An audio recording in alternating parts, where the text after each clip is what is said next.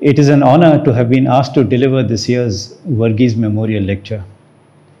B.G. Verghese, or George to his friends, and St. George to his admirers, was one of the most respected names in post independent Indian journalism.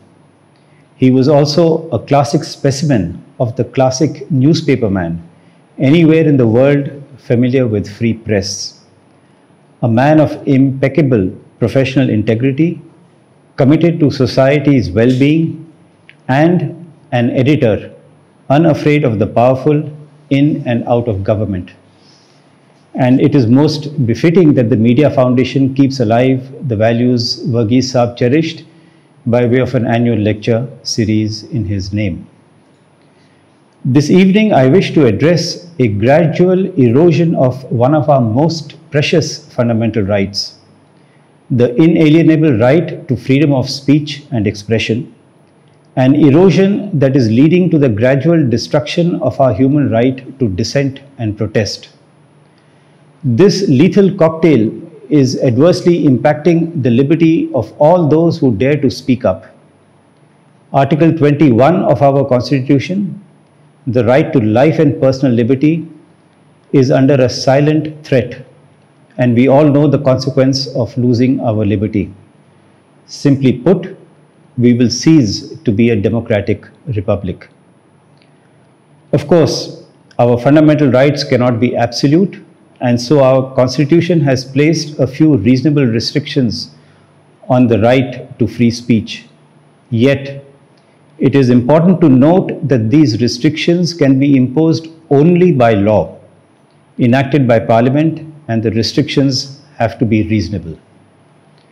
Our freedom of speech is being eroded and mauled through twisting and turning the law, if not abusing it altogether. The law needs to be objectively interpreted, but subjective satisfaction has taken over and the consequences are unpalatable. Dissent or expression of a different point of view has become an issue to the extent that bona fide speech sometimes becomes a security threat. Some cynics glibly suggest that if the speaker is not guilty, he or she will be acquitted of the charges framed. But the fact of the matter is that detention as an under trial is a gut wrenching experience for anyone, and particularly for a person whose cries of innocence fall on deaf ears. Such a person looks to the judiciary for protecting his or her freedom of speech and liberty, but gets overwhelmed by the painfully slow justice delivery system. I propose to discuss our fundamental right of free speech and expression and the right to disagree in different compartments, and I hope the picture will reveal why we might need to conduct an inquest in due course of time. First, free speech and sedition. Ours is a country governed by the rule of law. So let us first appreciate what the law has to say on some aspects of freedom of speech. In my opinion, one of the worst forms of curtailment of the freedom of speech is charging a person with sedition.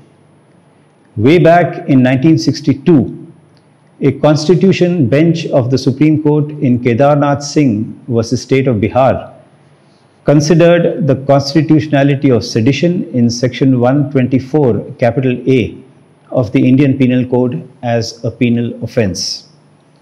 While doing so, it was held that the freedom of speech and expression, and I quote, has to be guarded against becoming a license for vilification and condemnation of the government established by law in words which incite violence or have the tendency to create public disorder. A citizen has a right to say or write whatever he likes about the government or its measures by way of criticism or comment so long as he does not incite people to violence against the government established by law or with the intention of creating public disorder.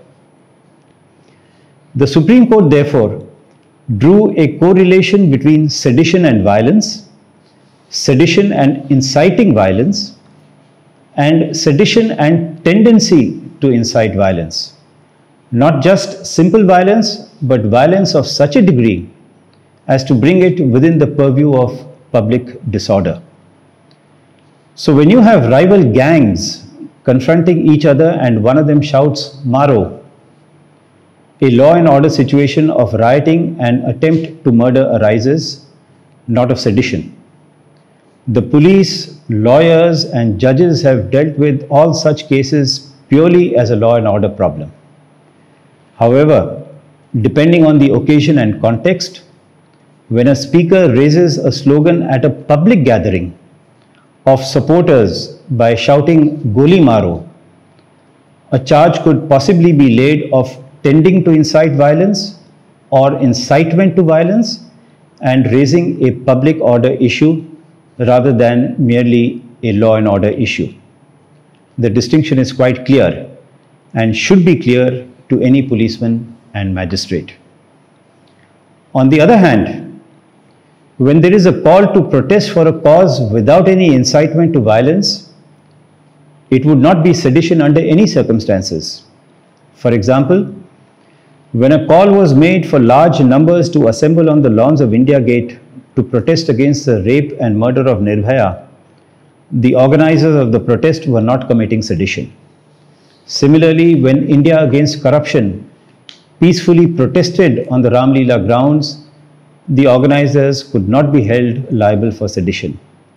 This is extremely important for distinguishing between free speech and sedition, but unfortunately, the distinction is being lost sight of by the establishment.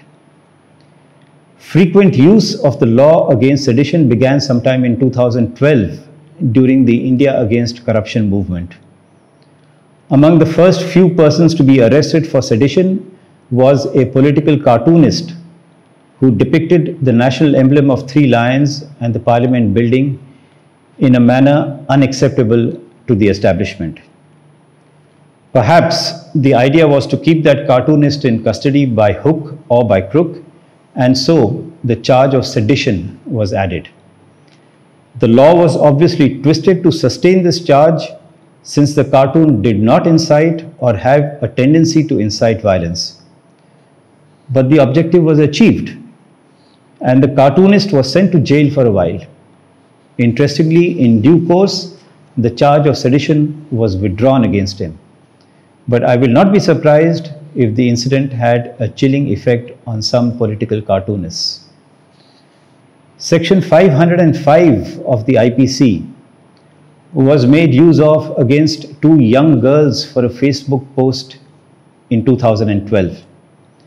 One of them questioned the need for declaring a holiday on the death of a political leader and the other liked that post.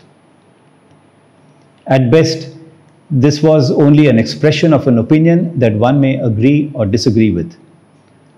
Unfortunately, both the young girls were arrested for creating or promoting enmity, hatred, or ill will between classes. So, the expression of a possibly unpalatable opinion became a criminal offense against the establishment.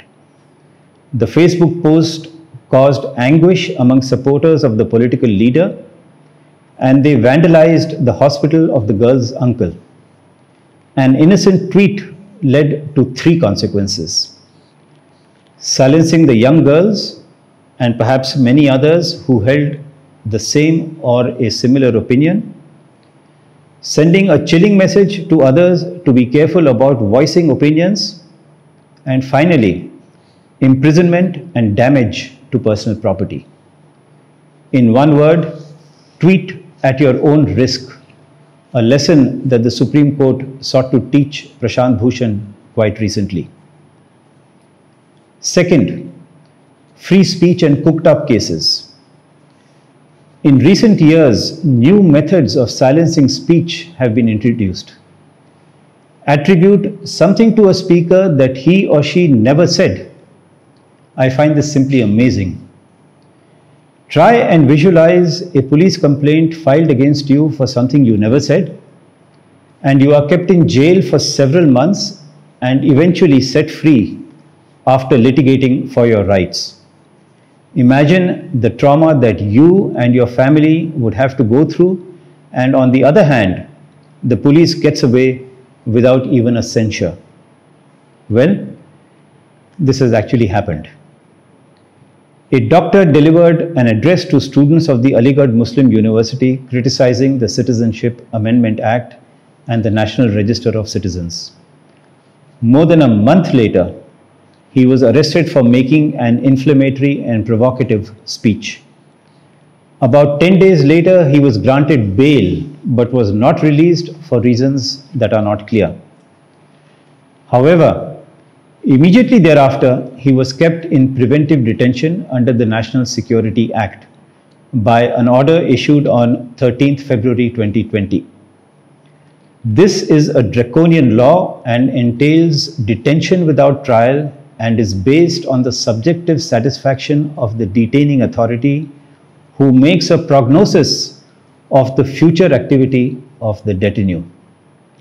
In other words, the detaining authority says that he or she is satisfied on the basis of past conduct that the detenue is likely in future to act in a manner prejudicial to the security of the state or to the maintenance of public order.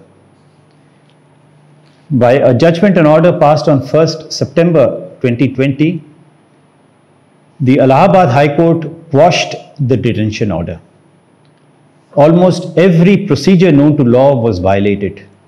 Additionally, on a limited judicial review of the grounds of detention, the Allahabad High Court concluded that the detenue was alleged to have said things which he did not. For example, while he spoke of national integrity, he was accused of promoting hatred. While he deprecated violence, he was accused of promoting violence.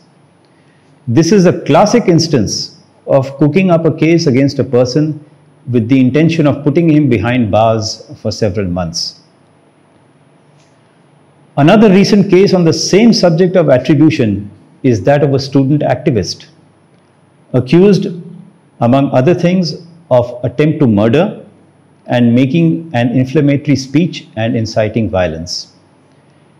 The offending speech was made by her on 25th February 2020 and she was arrested three months later on 25th May 2020 the Delhi High Court granted her bail after another three months by a judgment and order dated 1st September 2020.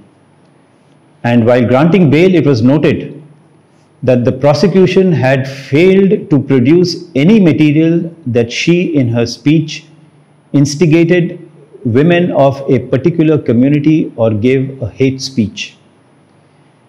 Admittedly, the High Court said, Agitation was going on since long.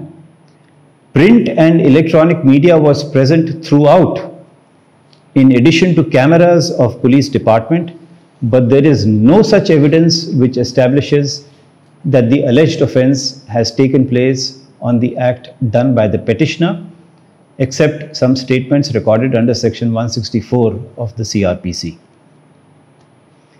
These cases, and there are others, lead to a frightening inference that if a citizen exercises the freedom of speech and says something that is not even distasteful, yet he or she can be arrested on the basis of a fairy tale and will have to go through a long drawn process for being set free.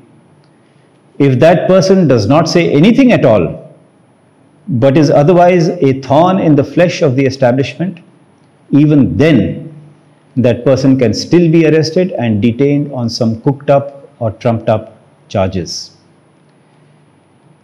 Please try and again imagine the impact of this. And if you are old enough, please compare it to the period between 1975 and 1977 when persons were jailed for allegedly threatening the internal security of the country without any evidence in this regard we are gradually witnessing a somewhat similar situation. Third, free speech and fake news. How does one define fake news And how does one distinguish it from misinformation or disinformation? How does one look at propaganda disseminated by the establishment?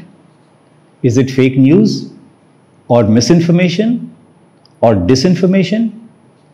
Would it invite a charge of sedition against the purveyor of that propaganda? That question needs to be asked.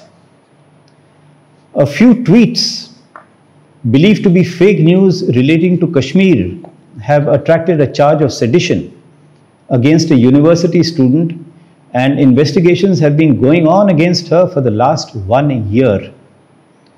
The student tweeted to the effect that the army was entering houses at night, picking up boys, ransacking houses, and deliberately spilling rations on the floor.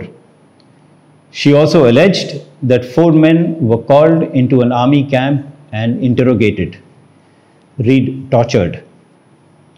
The allegations were denied as baseless by the army, and it appears that it had closed the matter and no complaint was filed against her for the tweets. However, some public spirited person lodged a police complaint alleging that this was a case of fake news that excited disaffection towards the government established by law and is therefore sedition. On this basis, the issue has been kept alive by the police for more than a year with no effective result as yet. The army has closed the matter, but the police is still at it. Three questions arise from this episode. Can the tweets be categorized as seditious in light of the judgment of the Supreme Court? If the army, against whose credibility the tweets were directed, has dismissed the allegations and not lodged any complaint and effectively closed the matter, should a complaint by a third party at all be entertained by the police? Finally, does it take more than a year to analyze a few tweets to determine if they are seditious or not? Or are police investigations being used merely to silence her? Similarly, a person in Punjab was charged with sedition for spreading fake news that ventilators were not available for COVID 19 patients in a particular district. Assuming this was not true, it could easily have been denied by the district administration but foisting a charge of sedition on him? Contrast this case with another case of fake news, where no action has been taken against an elected cabinet minister who made a bizarre claim that a particular brand of papad provides immunity from the coronavirus. So far, no one has dared to officially contradict the cabinet minister, except the coronavirus which attacked the cabinet minister and made him COVID positive, leading to his hospitalization. The pandemic has generated a tremendous amount of fake news in our country and worldwide. There is no doubt that fake news must be countered effectively and quickly. But surely, a charge of sedition is not the answer. Apart from a vague definition of fake news and its subjective interpretation, these cases show that the establishment prefers to act against the weak and defenseless with what was recently described as an iron hand rather than against the privileged who can get away by saying anything. The fundamental right of freedom of speech cannot be applied arbitrarily. Fourth, free speech and the press. In the last few years, the establishment has displayed a new determination and great ingenuity in securing conformity and obedience from the press. The cumulative effect is chilling. We all recall Mr. L.K. Advani's observation that during the emergency, journalists were merely asked to bend, but they chose to crawl. Today, there is no emergency and nobody has asked the media to bend. Yet, the perception may be wrong is that they are crawling.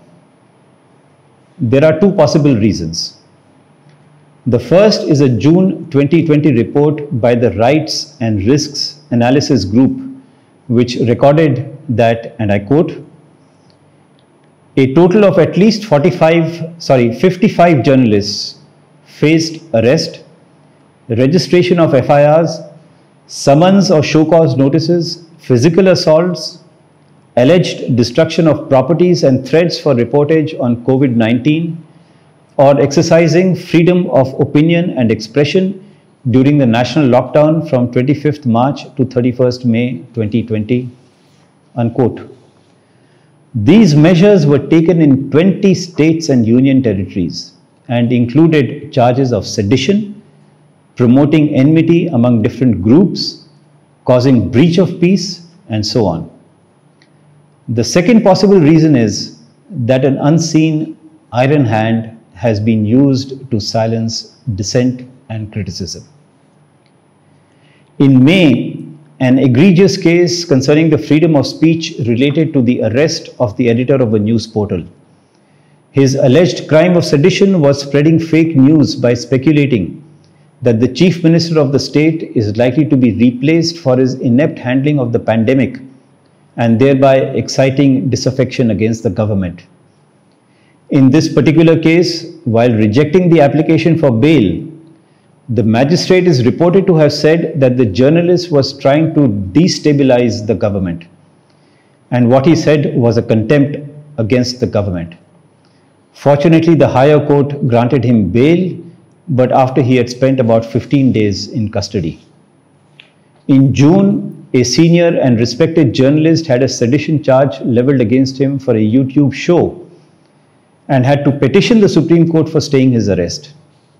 The allegations may have been reckless or bizarre as they have been described, but the question is whether they can be classified as seditious given the law laid down by the Supreme Court over 50 years ago.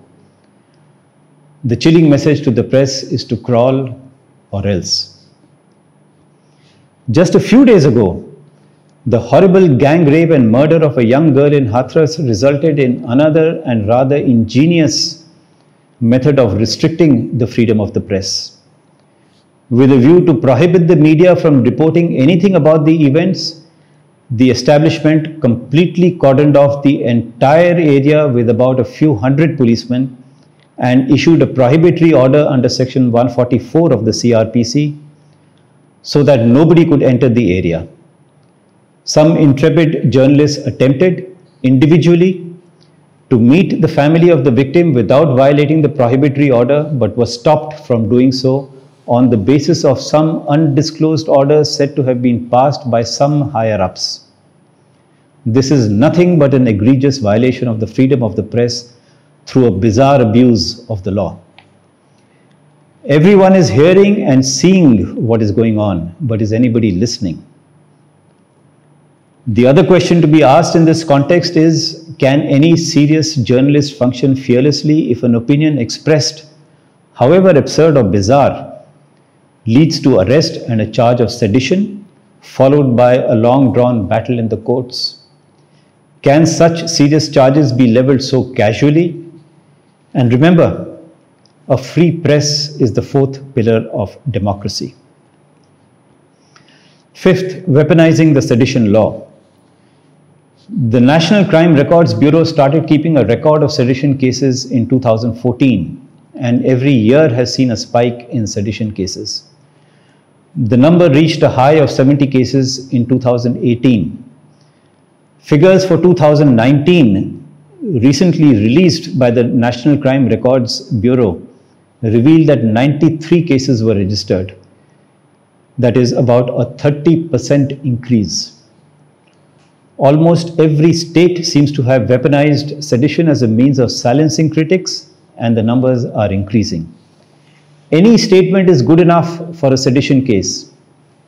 And this is not just in a few states, it is in almost every state and union territory.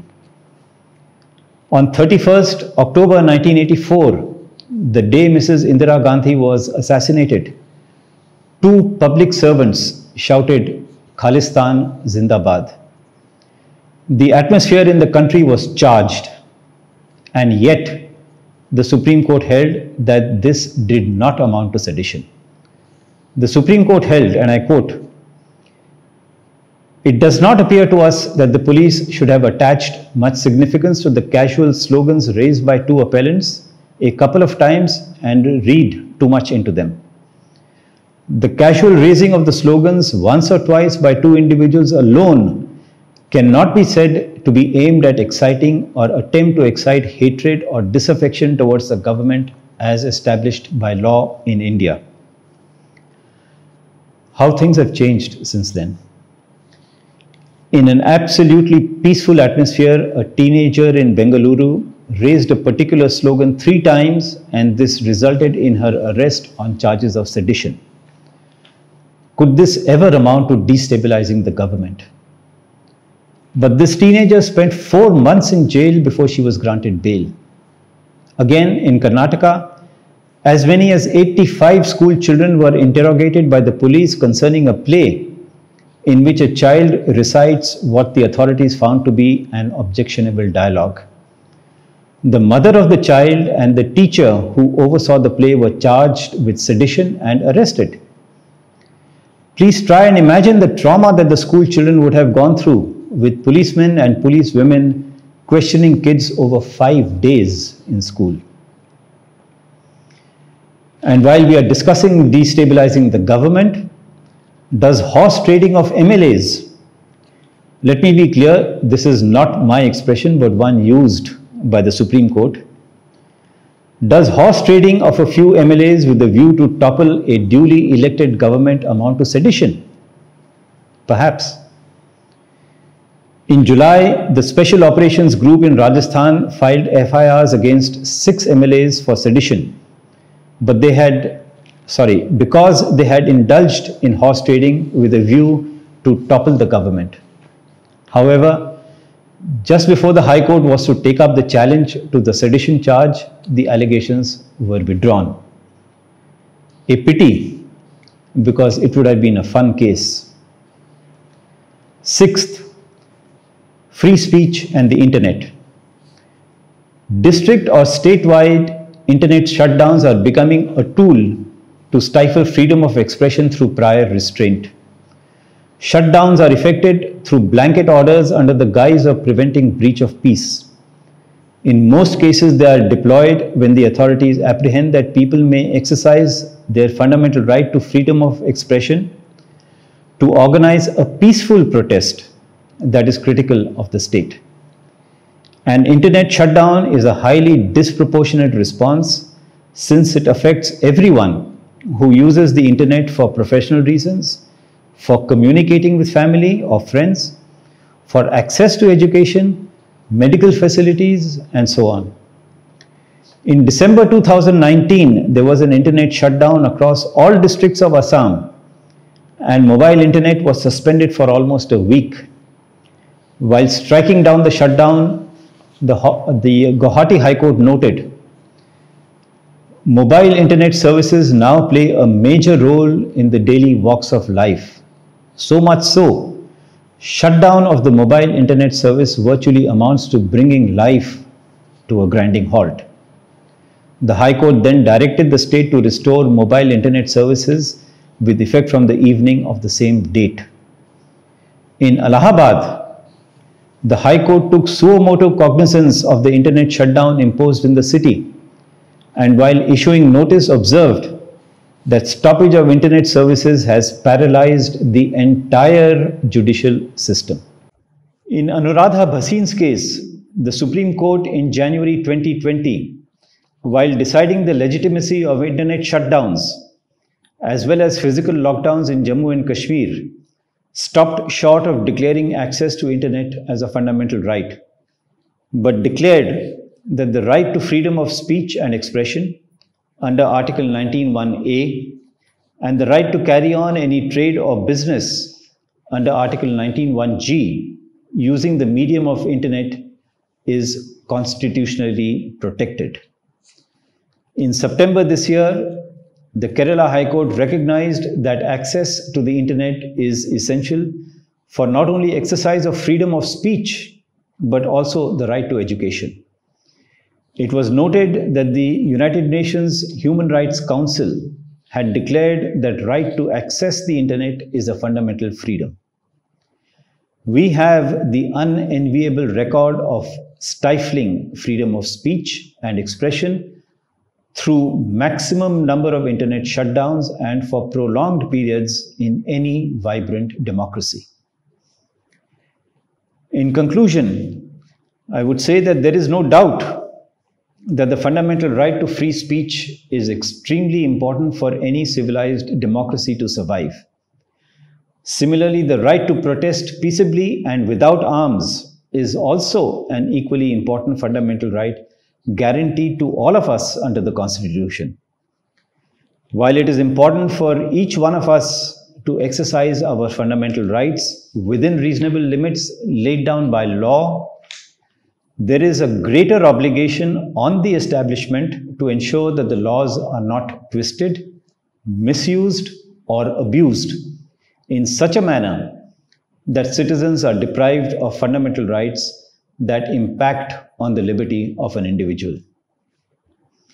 We have seen several instances of deprivation of liberty with persons having to spend days and sometimes months in jail for remarks that would perhaps not attract any attention, except for the fact that the establishment used draconian laws to silence those dissenting voices and thereby give them traction. It is time for the establishment to realize that the people of this country mean well. And as in any democracy, there are bound to be different points of view. These must be respected Otherwise, the fabric of our society might disintegrate, and fraternity, one of the key words in the preamble to our constitution, might just become another dead idea. Thank you and God bless.